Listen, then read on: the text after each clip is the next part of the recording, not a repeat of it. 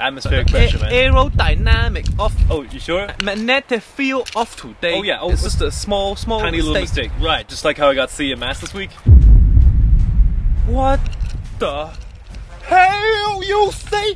You tell me you get the C. You don't know C stand for the failure. I want your ass into Monday. What's up? Let's. Who the hell didn't unface the chicken?